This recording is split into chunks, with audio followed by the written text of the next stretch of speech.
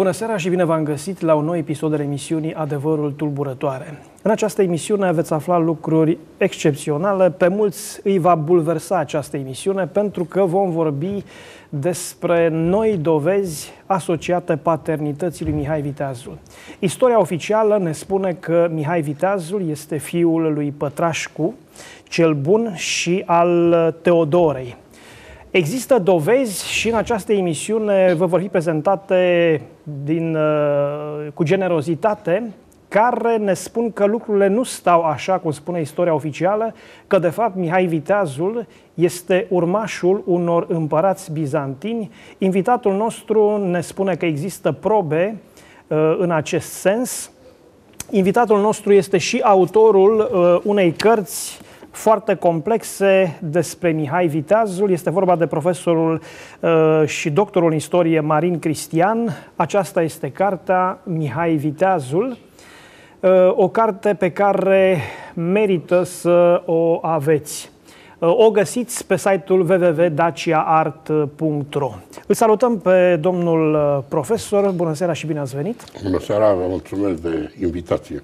Uh, sigur că ideea că se pune sub semnul întrebării uh, varianta oficială în ceea ce privește părinții lui uh, Mihai Viteazul este din start uh, bulversant pentru mulți.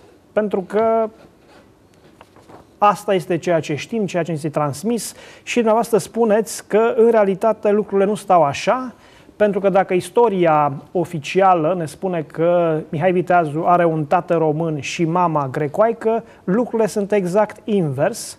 Și vă rog să ne aduceți aceste argumente, dar în prima fază cred că ar fi util să ne prezentați uh, ceea ce spune varianta oficială, care sunt argumentele și probele uh, pe care se bazează atunci când stabilește uh, că aceștia sunt părinții lui Mihai Viteazu. Desigur, uh, primii istorici care s-au ocupat de Mihai Viteazu, să nu uităm că Mihai Viteazu este o personalitate puternică. El a reușit să unească pentru prima dată țările dacice după mai bine de 1500 de ani. Deci primii istorici care s-au ocupat au susținut că Mihai este fiul lui Pătrașcu și al soției acestuia, Teodora.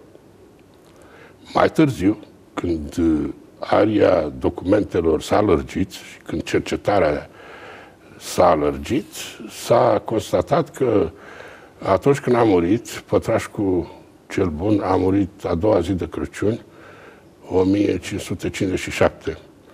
S-a dovedit că a lăsat uh, în urmă o doamnă cu care fusese căsătorite oficial, era doamna țării, doamna Voica din Slătioara, cu care a avut uh, patru copii.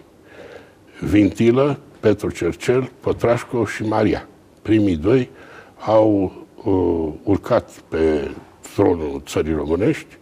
Vintilă a domnit numai patru zile, de la 26 aprilie la 30 aprilie 1774, a fost ajutat de Ioan Vodă cel Cumplit și Petru Cercel a domnit 2 ani, 1583-1585. În atare situație, istoricii au încercat să dea o nouă interpretare. Și anume că, într-adevăr, Mihai este băiatul Pătrașcu cel Bun, dar uh, este rodul unei legături neoficiale. În sensul că Teodora n-a fost doamna țării și Pătrașcu a avut uh, o idilă cu această doamnă, în urma căreia a apărut acest fruct valoros. Desigur că cercetările au continuat. Pe ce se bazau? M-ați întrebat pe ce se bazau acești istorici. Ei aveau, aveau uh, niște puncte de sprijin solide. Când Mihai a luat tronul uh, în, la 1 septembrie 1593, el a spus că este feciorul lui Pătrașcu Vod. Și apar actele oficiale, și a... apare faptul că Mihai Viteazu confirmă în repetate rânduri că este Absolut. fiul lui Pătrașcu cel Bun. Este o consecvență, este o consecvență a voivodului. în a susține în toate actele emise de Cancelaria Domnească din perioada domniei, a susține că este feciorul lui Pătrașcu. Eu am să vă aduc câteva documente în acest sens. Primul document cunoscut de la Mihai Viteazu datează din 2 octombrie 1593. Mihai a folosit următoarea titulatură, citez, Eu, Mihai Voievod și domn a toată țara Ungro-Vlahiei, fiul preabunului Eu, Pătrașcu Voievod. Închei citatul. Consecvența voievodului poate fi urmărită în, în toate documentele emise. În zapisul din 27 mai 1596, prin care întărește fraților Buzești satul Plenița, Mihai amintește că, și citez, cinstriții dregători ai domniei mele au adus cărți de moștenire, între care și cartea Radului Vodă, Paisie, moșul domniei mele și cartea părintelui domniei mele, Pătrașcu Vodă. Închei citatul. Având de judecat la alt soroc acest litigiu dintre locuitorii satului Plenița și Radu, Preda și Stroie Buzescu, Mihai dă dreptate iarăși dregătorilor lui, motivând că au prezentat și, citez, cartea răposatului Petru Vodă, Cercel, fratele domniei Vodă. Închei citatul. Tocmai de aceea uh, spun că este dificil să puteți demonstra că lucrurile stau altfel, atâta vreme cât însuși Mihai Viteazul scrie sau dă dispoziție să se scrie numele lui, că este fiul lui Pătrașcu, că moșul lui este tatălui Pătrașcu, că cutare este fratele lui, prin urmare el stabilește prin aceste acte legături de rudenie clare. În același timp, uh, putem presupune, dacă dumneavoastră avea dreptate și argumentele pe care le prezentați se susțin, că Mihai Viteazu ar fi avut nevoie de această justificare de apartenență la un os domnesc, pentru că altfel nu putea să fie acceptat ca și vodă, ca și voievod al uh, țării românești și după aceea uh, unde a reușit să ajungă. Uh, spuneați și aici, cred că e un aspect important care trebuie discutat, Pătrașcu cel Bun a murit a doua zi de Crăciun în anul, uh, amintiți-mi, 1557. 1557, iar Mihai Viteazu s-a născut în august 1558. Da. Uh, dacă numărăm lunile, este cât se poate de posibil ca în ultimele luni de viață Pătrașcu cel Bun să fie avut o relație cu Teodora, neoficială, să fie rezultat Mihai Viteazul uh, o legătură ne legitimă, dar Mihai Viteazu este fiul lui. Uh, spuneți că nu este așa. Care sunt argumentele, cum să zic eu, nu sursele istorice, ci, mă rog, tot uh, are legătură cu sursele istorice, pentru că dumneavoastră îmi spuneați înainte de emisiune că Pătrașcu cel Bun era de fapt bolnav la pat din luna mai a anului 1557 și prin urmare un om bolnav la pat nu prea putea avea relații amoroase și aventuri cu altcineva. Ați redat foarte bine. Unul dintre documente se află aici lângă noi. Am adus special portretul lui Mihai Viteaz. Acest portret a fost uh, făcut de un pictor imperial, Egidiu Sadeler, în anul 1601, în luna martie, când Mihai s-a aflat în audiență la împărat, împăratul se afla la Praga. Mihai a stat acolo o lună de zile, a intrat de mai multe ori în audiență și în această perioadă i s-a făcut tabloul respectiv. Îl vedem pe Mihai îmbătrânit, trist, apare mai bătrân decât vârsta pe care o avea în realitate.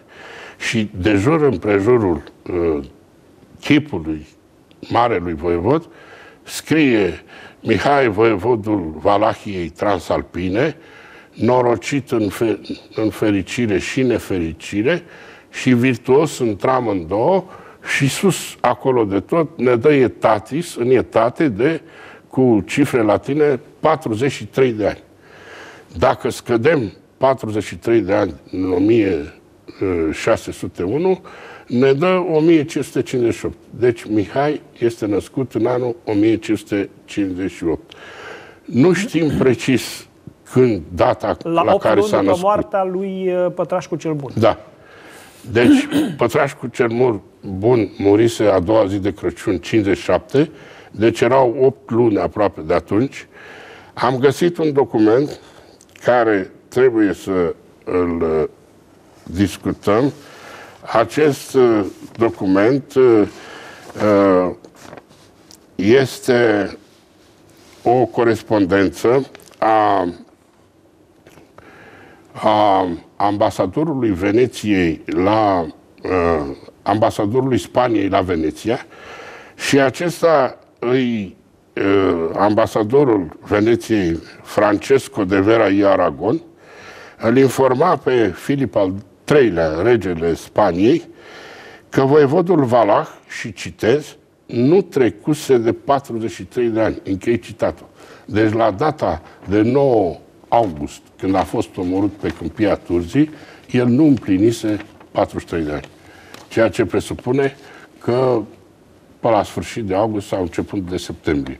Oricum, sunt mai bine de 8 luni de la moartea Iar tatăl... cu cel bun în ultimele luni de viață a fost bolnav da, la într-adevăr. Acum, sigur, uh, pot să existe telespectatori sau alți istorici care să spună că, domnule, contestând originea domnească, românească a lui Mihai Viteazul, uh, se lovește în uh, profilul și în personajul istoric Mihai Viteazul, că se încearcă încă o dată să demonstreze că, de fapt, Mihai Viteazul nu este român, că a fost un personaj aparținând unei alte naționalități, dar care a făcut ceva în țările românești. Pentru că, în același timp, tot Mihai Viteazu uh, mărturisește faptul că uh, mama lui, Teodora, ar fi sora lui Ianis Cantacuzino, deci Mihai Viteazu spune că mama lui este ar fi grecoaică. Există surse care să arate legătura aceasta de rudenie între Teodora și Ianis Cantacuzino? Da. Uh, ce se întâmplă? Chestiunile sunt încălcite, dar noi încercăm să des, desfacem aceste ițe. Uh, normal că uh, Mihai a fost preconceput pe undeva la sfârșitul lunii noiembrie, 57. Și v-am spus și mai înainte și vă repet că uh, Pătrașcu cel Bun a căzut la boală, la pat, încă din luna mai 1557. A fost dus uh, atunci la aer, cum se spunea, cum zicem noi astăzi în stațiune, a fost dus la aer uh, la Vâlcea. A fost invitat un medic de la Sibiu, care l-a îngrijit, dar a rămas bolnav la pat și medicul la respectiv, în loc să-l însănătoșească, a, i-a constatat decesul. Deci e greu de spus. Noi am prezentat această chestiune că logica nu poate să fie de acord cu așa ceva, deși avem și alte documente. Referitor la faptul că uh, Mihai uh, a spus, n-a spus el de fapt, el i-a cerut uh, unui logofăt al lui, marelui logofăt Teodosie Rudeanu, să scrie o cronică. Și în această cronică, el a redat versiunea lui, că este feciorul lui Pătrașcu cel Bun. Cronica respectivă, izvodul logofătului Teodosie, este una dintre primele noastre cronici, uh, a fost dat și se menționează, citez, cu știința, închei citatul, cu știința voievodului, i-a fost dată lui Baltazar Walter, care se afla într-o vizită în țara românească în anul 1597. Acest Baltazar Walter uh, a adunat și alte surse, a îmbogățit uh, cronica respectivă și o publică în latină în anul 1599 la Görlitz. Vreau să vă citez ce spunea acest uh, cronicar privitor la Mihai. Înainte să devină domn, citez, nobilul ban Mihai, fiul domnitorului Petru, deci Pătrașcu cel bun, s-a aflat la Craiova. Închei citatul. Cronicarul mai amintește că Mihai era, și citez, vestit tuturor atât prin rangul părintelui și privilegiul nașterii, cât și prin frumusețea armonioasă a trupului și prin statura lui mândră. Închei citatul. De la Baltazar Walter mai aflăm, citez, despre, mai aflăm despre, citez, unchiul său după mamă, Iane Cantacuzino, adică fratele mamei, care ținuse și el mai înainte dregătoria de bani. Închei citatul. Deci aici, în izvodul uh, logofotului Teodosie, în cronica lui Baltazar Walter, cu știința lui Mihai, este amintit unchiul său, care de fapt era tată, și uh, că era soră cu mama lui. Care nu era soră. Care nu era soră și istoricii au mers pe ideea că uh, Mihai ar fi urmaș al împăraților bizantini pe linie maternă. Când Ceea... de fapt ar fi pe linie paternă. Când este deci pe avem linie următoarea paternă. intrigă aici, uh, medievală. Uh, pentru a-și justifica uh, ascensiunea, pentru a putea să aibă ascensiunea pe care a avut-o, Mihai Viteazu își prezintă, îl prezintă pe Pătrașcu cel Bun ca pe tatăl său, pe mama sa Teodora o prezintă ca pe sora lui Ianis Cantacuzino și, prin urmare, în varianta oficială, Mihai Viteazul este fiul unui domn român, având mama uh, o femeie care vine pe linia Cantacuzino și merge până în Imperiul Bizantin. Uh, în realitate, spuneți dumneavoastră, de fapt, nu Pătrașcu cel Bun este tatăl, ci Ianis Cantacuzino, care nu este frate cu Teodora, Teodora fiind de fapt uh, iubita sau da, da. așa, și de fapt uh, se răstoarnă lucrurile pentru că Mihai Viteazul, în acest caz, în varianta oficială avea un tată român și o mamă grecoaică. În realitate, spuneți că are o mamă româncă și un tată grec, da. urmaș al unor împărați bizantini. Da. Am mers uh, mai departe pe această cale, am verificat genealogia cantacuzinilor. Există o astfel de genealogie publicată de Ioan Mihai Cantacuzino și am uh, descoperit că uh, Dimitrie Cantacuzino a avut patru copii.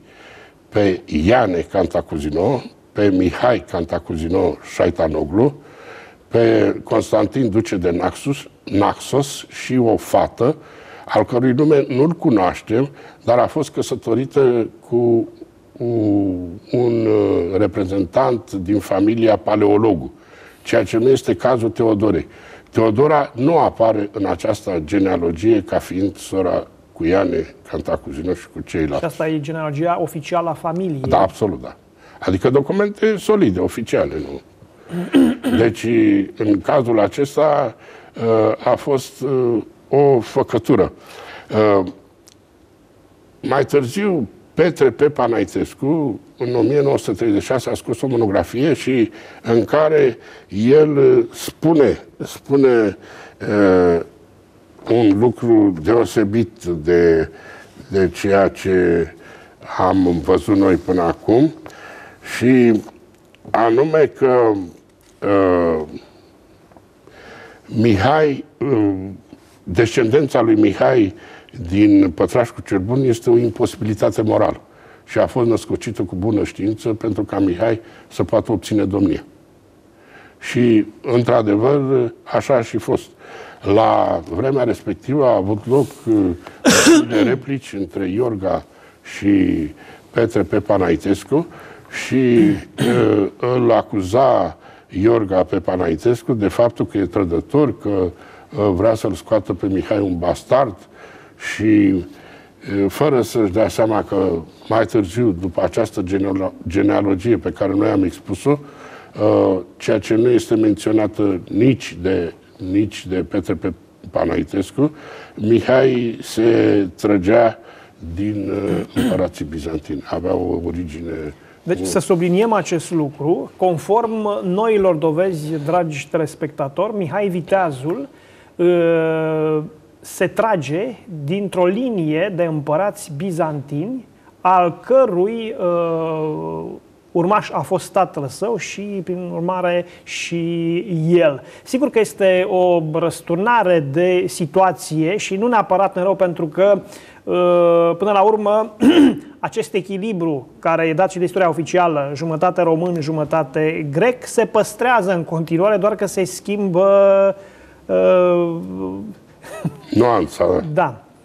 Uh, Ce să spun? uh, uh, Și acest lucru nu diminuează cu nimic Absolut. valoarea lui ca domnitor, importanța pentru noi, ca și conștiința faptului că el uh, avea menirea să unifice țările dacice. Nu întâmplător a fost numit în vremea lui Malus Dacus, Dacul cel rău, pentru că el întruchipa exact aceste trăsături ale dacilor, era conștient de aceste rădăcini dacice pe care și el le avea și, prin urmare, acționa în acest spirit. Mai mult, uh, trebuie spus, ceea ce nu se știe, uh, că Iane Cantacuzino n-a fost căsătorit oficial cu mama lui Mihai. El a făcut acest copil și a plecat. Uh, Ulterior se va căsători cu uh, o doamnă, Marina Basarab, care va avea o poziție socială mai bună și Mihai a crescut, cum se zice, fără tată. A fost crescut de mama lui și de-abia când a urcat pe la vârsta de 17-18 ani, a început să fie ajutat de Iane, a fost eh, inițiat eh, în comerț, eh, se câștiga foarte mulți bani din comerț. Mihai a făcut comerț eh, și avem dovezi. A făcut dove- eh, comerț cu vite, eh, vindea cirezi de vite în Balcan sau în Orient, eh, a circulat mult în Balcan, știa uh, Deci, în prima două- fază a fost un om de afaceri da, foarte prosper. Da, da, două, trei limbi știa, știa greaca, știa turca și tătara. Și uh, a urcat ușor, ușor treptele uh, boierilor, a fost ajutat de tatăl său din depărtare. Despre asta și cum a fost ajutat de Iane Cantacuzino, pentru că e un aspect interesant. De asemenea, vom vorbi în partea a doua a emisiunii, pentru că acum ne oprim pentru o scurtă pauză publicitară, nu înainte de a vă mai prezenta o dată uh, cea mai nouă carte scoasă la editura Getodaci, Credințe magice getodacice, scrisă de cercetătoarea Iulia Brânză Mihaileanu, o carte deosebită, o abordare multidisciplinară a acestui subiect, ca dovadă faptul că avem un subcapitol care se numește uh, Descântecul românesc și fizica cuantică. De asemenea, vă prezint încă o dată și cartea profesorului Marin Cristian, pe care îl aveți aici de față, uh, despre Mihai Viteazul, o carte care vă prezintă foarte multe documente, foarte multe izvoare istorice, o abordare foarte complexă a poveștii de viață și de istoria lui Mihai Viteazu. Cele două cărți le găsiți pe site-ul www.daciaart.ro. Le puteți căuta și acum în pauză sau după emisiune. Ne vedem în câteva minute.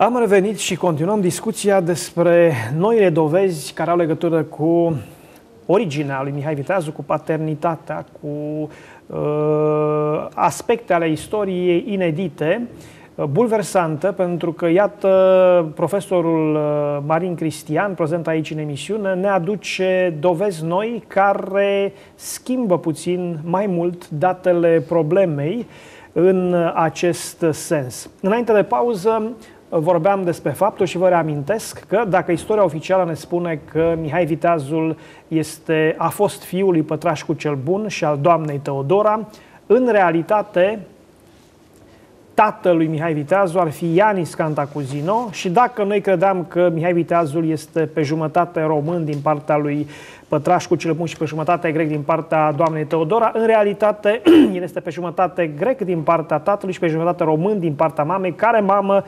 Teodora nu era spune domnul profesor Marin Cristian, sora lui Ianis Cantacuzino, ci era româncă și era de fapt iubita lui Ianis Cantacuzino. Uh, sigur că aici mai apare un aspect pe care ați început să-l abordați în prima parte a emisiunii și anume ascensiunea economică, îmbogățirea spectaculoasă a lui Mihai Viteazul, care în momentul în care a ajuns la domnie era deja foarte bogat, și dumneavoastră spuneți că acest avânt, această ascensiune economică foarte rapidă este datorată lui Ianis Cantacuzino, care știa că de fapt este tatăl Mihai Viteazu, la fel cum și Mihai Viteazu știa, chiar dacă în actele oficiale el se prezintă ca fiul lui Pătrașcu cel Bun pentru a putea avea uh, acceptabilitatea boierilor și a celorlalți din jur în ascensiunea lui uh, pe tronul țării românești. Vă rog să ne aduceți argumente în acest sens al relației dintre Ianis Cantacuzino și... Ați, ați intuit bine. Uh, Mihai, uh, după ce a făcut comerț, uh, după ce a adunat ceva bani, este ajutat și urmărit din umbră de tatăl său, a fost uh, numit uh, bănișor de mehedinți. Uh, acest Iane Cantacuzino a, avea, a avut o avere foarte mare. El ajunsese uh, să fie mare vistier Moldova, mare ban al Craiovei din anul 1586 și din 1587 Caputiehae, adică un fel de ambasador al Moldovei și al țării românești la Constantinopol l-a ajutat foarte mult pe Mihai să urce treptele dregătorilor. Uh, din anul 1588, Mihai va urca treapta de stolnic. Stolnicul era unul dintre oamenii de încredere ai Domnului care se ocupa de cuhnia domnească, adică de bucătăria domnească. El avea obligația atunci, în timpul ospețelor mari, să deguste mâncarea uh, domnitorului ca să, ca să nu fie otrăvită. Deci era un om de încredere. Ulterior, aceasta se întâmpla la Mihnea Turcitu, ulterior, când a venit uh, uh, un alt domn, uh, Ștefan Surdu, el uh, devine postelnic. Postelnicul era cel care uh, făcea împreună cu domnul politica externă, introducea ambasador la domn să discute. Deci era o, o treaptă și mai înaltă, apoi a devenit agă, iar din martie 1592 până în 1593 a deținut interimatul lui, interimatul uh, de mare ban al Craiovei. Uh, cel care era uh, titular era tatăl lui, Iane Cantacuzino. Și era la Constantinopol și Mihai ținea acest, acest interimat. Până când s-a aflat că Mihai ar fi fecior de domn. Atunci când s-a aflat că Mihai... La ce vârstă? Păi asta se întâmpla în primăvara lui 93. Avea 35 de ani Mihai. Deci abia la vârsta de 35 de ani, în mod oficial, s-ar fi aflat că el este fiul lui Pătrașcu cel Bun. Nu, el, da, așa este. El a, avea nevoie de acest argument ca să Am înțeles, poată dar să până, ia până atunci da, da, da. nu, s-a, nu, nu s-a se știe, nimic. nu s-a vorbit că ar fi fost. Așa, Cu toate așa. acestea, ascensiunea lui financiară este foarte rapidă, foarte puternică, iar în spatele acestea stă de fapt Ianis Cantacuzino. Absolut. Aș mai aduce un argument. Uh, pe bază de documente, desigur. Uh, s-a constatat că în uh, Valahia, în patru ani, 1588-1592, s-au vândut 40 de moșii. 36 dintre ele au fost cumpărate de Mihai. De unde avea acești bani? Banii respectiv au însemnat 1500 1.500.000 de mii de aspri, mai bine de un milion, ceea ce însemna o sumă mare pentru vremea respectivă. Și se poate evalua în euro, adică există un corespondent? Nu am evaluat în euro, dar mi-ați dat o idee bună, am putea evalua. Era o sumă mare a timpului respectiv. Da. Și ca un singur om, un singur boier, oricât băierii ar fi avut Mihai să scurt. cumpere 36 din 40. Ce înseamnă o moșie? Ce însemna o moșie? O moșie însemna uh, terenul respectiv și satul cu oamenii care deserveau. muncile Adică pe însemna moșie. un sat sau mai multe sate? Putea un, un sat, de obicei un sat. Un sat cu terenul cu sute sau mii de hectare, de, cu mii de hectare, La, da, teoretic. da. La, la Mihai apare ceva uh, nou. El a cumpărat moșiile de-a lungul Oltului, din dreapta Oltului, uh, vecine, una lângă alta. Deci nu avea, cum aveau alți boieri, o moșie în Dolj, Nici, mă, una în Vlașca. cumpărat comasat. L-a cumpărat comasat. Și chestiunea asta a făcut să uh, l-a avantajat uh, în privința câștigurilor. Dar cu toate acestea, el uh, n-a reușit să strângă sume chiar așa de mari.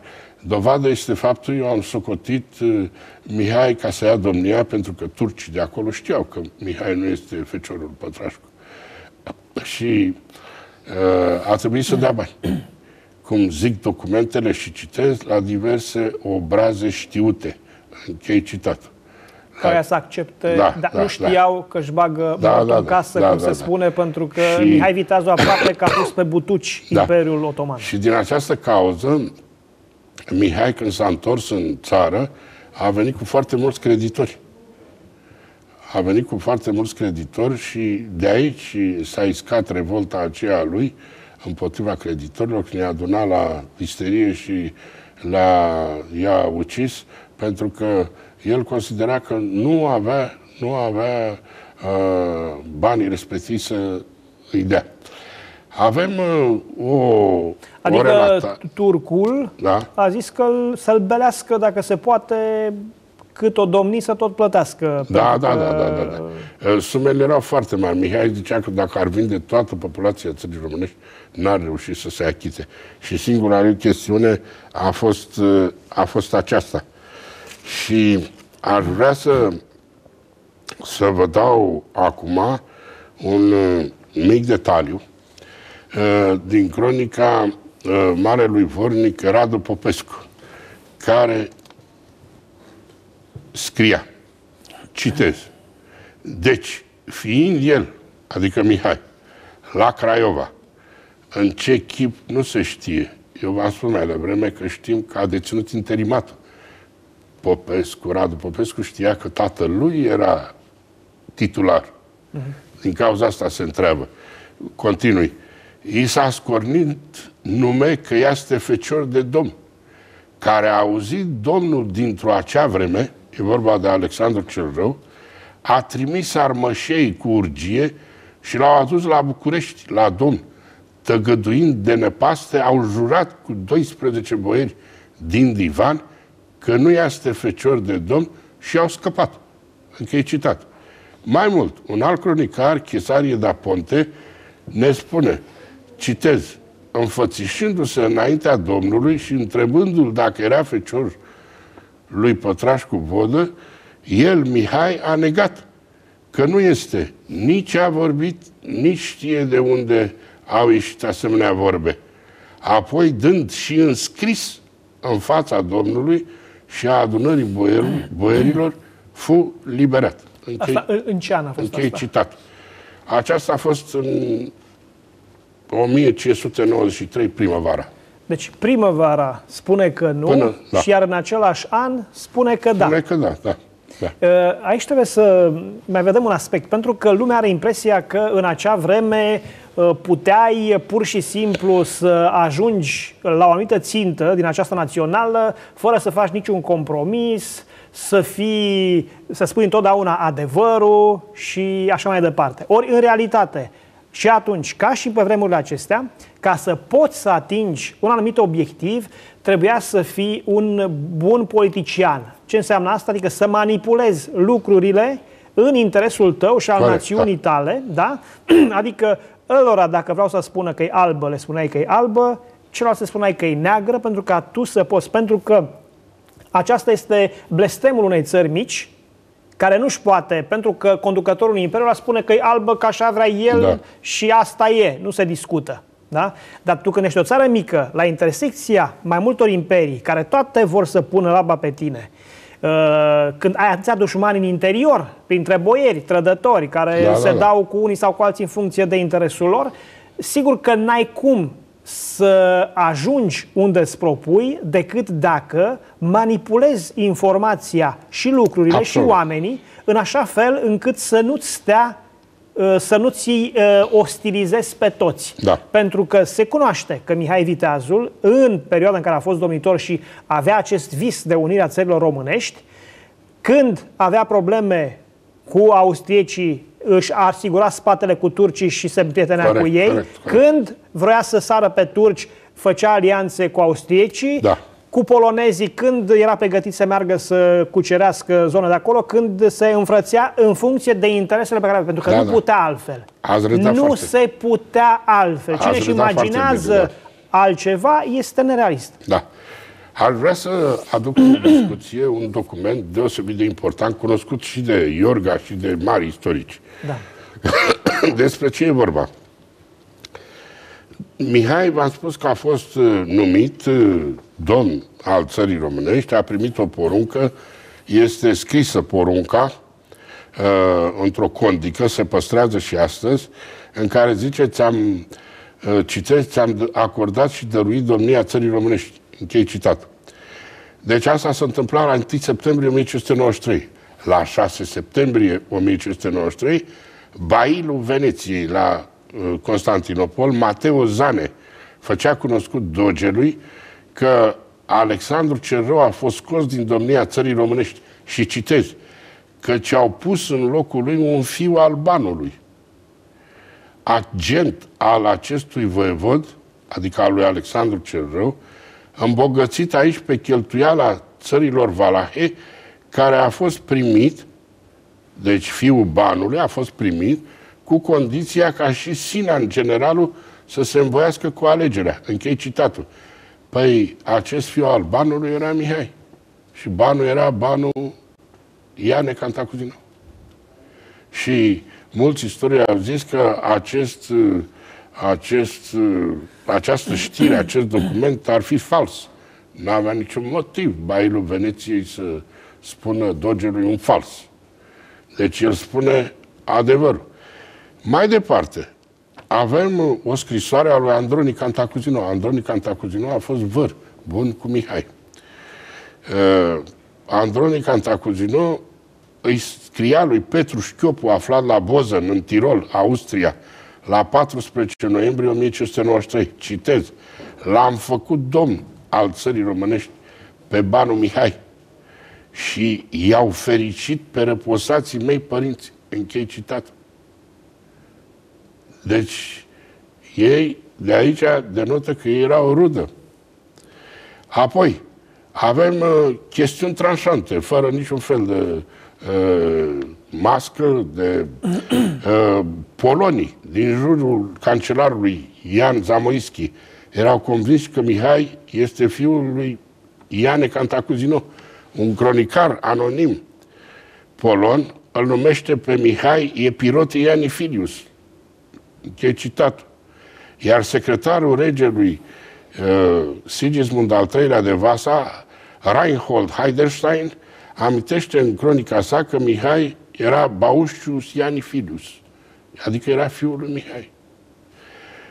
Altă, un alt izvor.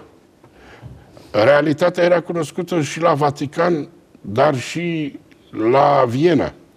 Nunțiu apostolic Germanico Malaspina, care l-a cunoscut pe Mihai și a vrut să stingă conflictul între uh, Andrei Batori și Mihai, s-a întâlnit cu Mihai, acest uh, Malaspina, uh, la episcop de San Severo, s-a întâlnit la Schellimber și îi scria într-un raport papei Clement al VIII-lea, citez, în orice caz, nu trebuie scăpat din vedere faptul că Mihai este ortodox și fiu de grec.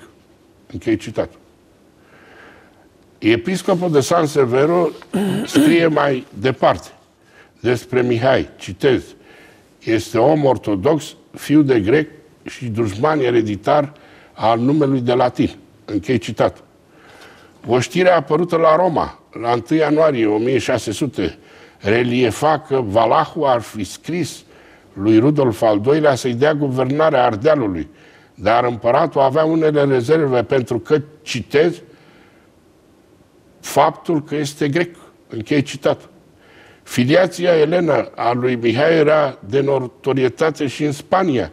Editorul Rodrigo de Cabrera scria într-o broșură apărută la Sevilla, citez, Echestos senior Michele Voivoda Națiune Greco.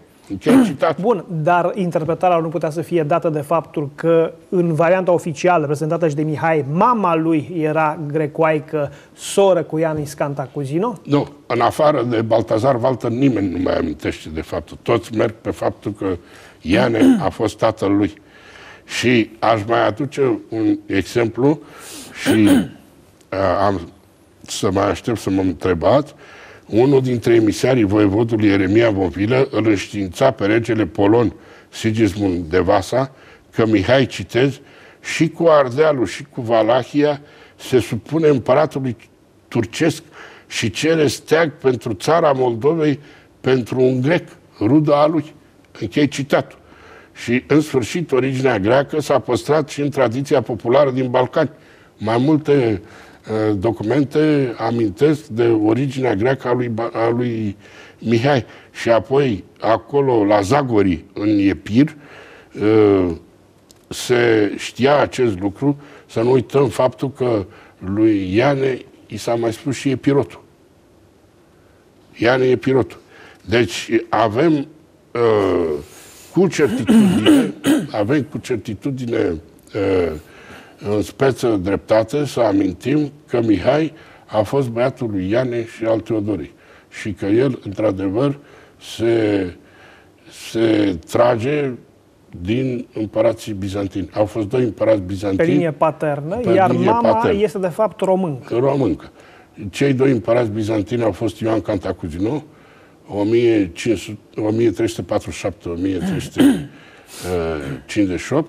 și un Matei Cantacuzino, fiul lui, a fost compărat 1355-1357. Oricum, să nu uităm că mulți dintre împărații Imperiului Bizantin au fost de origine tracoiliră, da, da, da, tracogetică, da.